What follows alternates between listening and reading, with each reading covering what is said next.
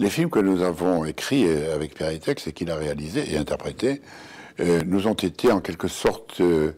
dérobés, on peut dire, par euh, un couple qui nous les a achetés sous le prétexte de mieux les exploiter qu'ils ne l'étaient jusque-là. Et en réalité, nous nous sommes rendus compte que ce couple n'avait pas du tout les moyens d'exploiter ces films et qu'il les gardait